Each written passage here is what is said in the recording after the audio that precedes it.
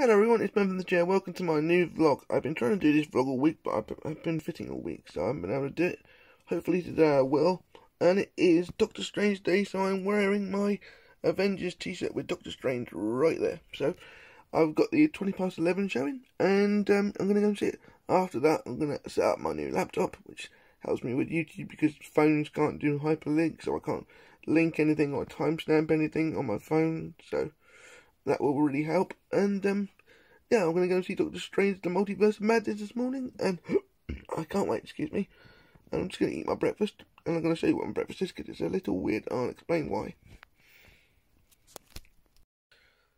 Yep, so this is my breakfast. This is a ham and cheese sandwich. The reason is my carer made two yesterday by putting ham on both sides of the bread without having a, a piece of bread on the bottom. So he made a second sandwich, so this is it.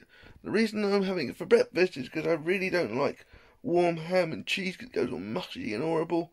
Uh, and obviously, I'm out this morning in the cinema with Doctor Strange, so by the time I eat, it'll be like 20 past 20 to 2, and I really don't want a warm sandwich, so having for breakfast, I'm going to grab a sandwich while I'm out, so, you know, don't, you know, it's, it's only cheese and ham, which is basically bacon in it, so I've decided to eat it now.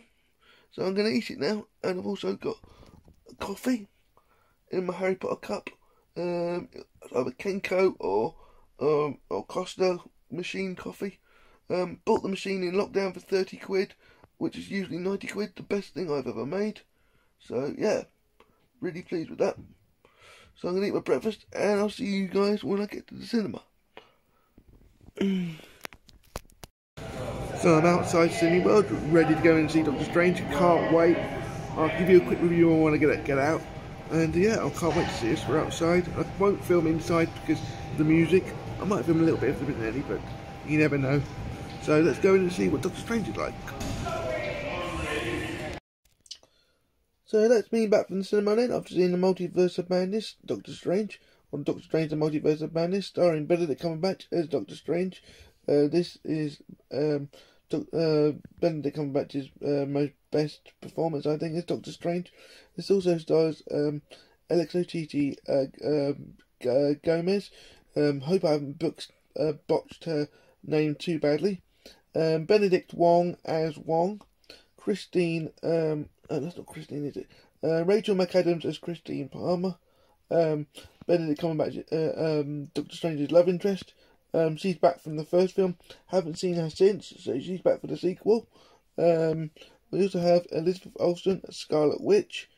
So yeah, this film's pretty stacked with a cast. Um, basically, Doctor Strange has to protect um, um, Alexo Alexo Chiti Gomez's character, um, America Gomez, um, from Scarlet Witch. That is all I'm going to say. Um, obviously, this film does go through multiple multiple multiver- uh, multiverses. Um, could they have done a bit more with that concept? Yeah. Was it a bit disappointing with the way it was hyped up? Who we were going to see? Who we weren't going to see? Where we were where where we were going to go? Hoping for the future, possible. I think they may have done, but looking at it in the cold light of day, I think the film's brilliant.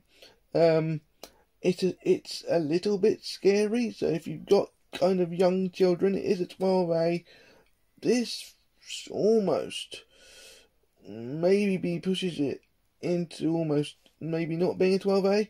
That's all I'm going to say. So if you've got young kids that scare easily, don't go see Doctor Strange: The Multiverse of Madness.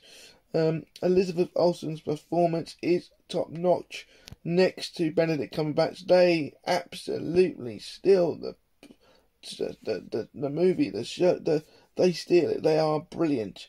Um, you know, Elizabeth Olsen, you know, this could be an a Oscar winning performance if this hadn't been done already, but, you know, brilliant. Um, I've kind of um, questioned her acting ability before, but um, but not now. That was brilliant. Benedict um, Wong plays Wong the High Sorceress as well. He's back for another movie. Uh, no one's ever answered the question why he's in Eternals either, which I find strange. Fun, ha ha ha. Um, so yeah, he's brilliant, kind of as the father figure for Doctor Strange because he's the high sorceress. Um, so he's kind of the father figure type of person. Uh, so yeah, that's basically the main cast. Um, obviously, I'm leaving up certain things for spoiler reasons, which I will divulge later on. Uh, maybe in a couple of days, maybe a week's time when I've seen the film again. Um, it's is it it's just about over two hours. It's 126 minutes, whatever that is. Um, um, yeah, there is a a after credit scene or two. Um, I don't think they are extraordinary ones. I've seen better. Um, I I like the film, but I was taken in by the hype train. If I hadn't been taken in by the hype train, I may have liked it a bit more. Um, I did prefer prefer um um um Spider Man, the last Spider Man. Um, is it what was it? No Way Home. Far from, I can't remember. I get confused which one's what, but the newest one anyway. I um, so I think it's No Way Home, isn't it? So yeah, I preferred that. I mean if if they were shot the other way round or come out the other way around, this film may have been better because of what we got in Spider Man. But um, it's kind of a come down, but not this Doctor Strange movie because of Spider Man, because of things. Um, but yeah, if you agree with me, please leave a comment below. If you don't agree with me, leave a comment below. And I'll see you guys in the next clip. I hope I keep this as spoiler free as possible obviously being you know you can't talk about a movie without giving away some things but some of this stuff I've said is in the trailer so and they were moaning last night they may have given away too much in the trailers so I have been saying this for ages but people give away too much in trailers. So yeah hopefully they might learn now. Um, also I went into um, HMV whilst I was out and I picked up something which I'll show you after dinner Hopefully, finally after dinner as well, I might be able to start my new laptop, which I've been trying to do all week, but thanks to epilepsy, I haven't managed to. So, yeah. So, I'll see you guys after dinner when I show you what I picked up from HMV. See you later. So it's dinner time, everybody. I've got burgers and bubble and squeak, which look lovely. The bubble and squeak kind of look fresh from um, not quite sure where it's from. It may have been M&S, I think. So burgers and bubble and sweet for dinner. I'm also watching the John Campea show um, today, so that's what I'm watching whilst I'm eating my dinner. So I like watching him. He's brilliant talking about movies and stuff. Um, so I'll see you after dinner. I just thought I'd show you what my dinner is because I don't really feel much in the day, so I thought I'd better do something. I'll show you my dinner, and that's cool. See, this looks lovely. Before it gets cold, I'd better eat it because bubbling, and squeak burgers get cold quite quickly. So, I'll probably see you in about 15 20 minutes, if not a bit more. Okay, see you next clip. So, this is also something I picked up today in HMV whilst I was seeing Doctor Strange, and it is the Jurassic Park um, box set, all three original trilogy movies. It's 44 quid. I, I know it's £39 on Amazon, but I just picked it up anyway. Um, so yeah, I'll be unboxing this tomorrow because it's late now. I need to edit the Monday Blue Hunt or Tuesday Blue Hunt because of the bank holiday. Haven't been able to edit it together due to uh, having many epileptic fits this week. Sorry about that. Um, I need to also do April's um, uh, Blue Hunt um, monthly thing. I haven't done that either, so that's going to be coming in the next couple of days over the weekend. Um, so yeah, um, that's just gonna quickly show you this, not in detail, but there's no embossing or anything. There is a little bit of embossing up there, I think, but it's still sealed. But I'll unbox this tomorrow. Um, when I add in the um uh, Blu-ray hand type thing. So just I'll quickly show you this. So yeah, so thank you everyone for joining me for my first vlog. Um, I think it's been a bit of a rough vlog day. I forgot to film in the evening and stuff like that. But um, it seems to flow quite well. I've just looked back at the day, and hopefully you'll enjoy this shorter version of a vlog.